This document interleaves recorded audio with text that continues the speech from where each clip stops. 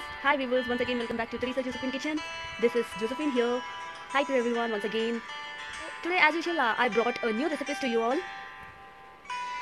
Easy egg curry and Andhra style and very it will be very yum friends and very simple the process is and ingredients also is very less and you can try at your home and today's video comment in the comment box whether you liked and what all the things and let's go for the process quickly. And uh, before that one thing i want to share. If you're first time watching my channel please subscribe my channel like it share comment me in the comment box and please viewers watch completely. Thanks for subscribing also. Friends let's start our process for the easy egg curry. Quick and fast. Will be done. So we'll take first eggs like these boiled eggs. I've taken the four boiled eggs. Just roast it in a oil. Take in a pan after roasting the oil will be there no? so use 1 teaspoon uh, jeera powder jeera 1 teaspoon uh, mustard 1 teaspoon uh, ajwain ajwain is very good for the digestion and this chana dal 1 teaspoon after that add green chilli that is 2 I taken take 1 tablespoon of uh, chopped garlic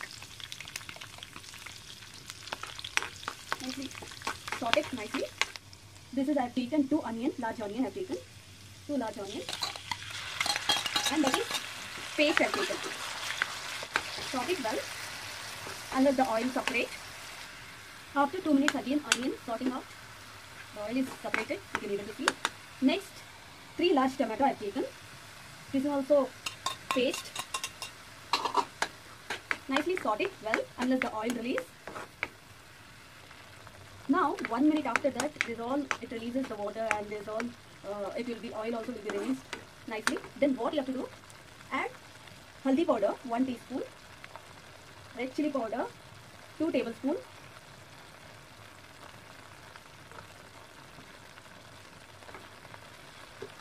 ginger paste one tablespoon. Ginger paste is an option. You can put in the oil also and rice also. Now you have to sort it well. It should mix together.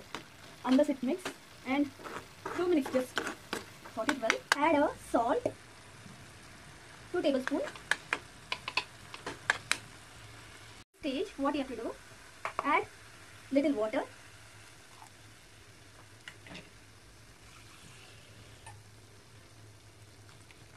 That is I have taken 3 cups of water.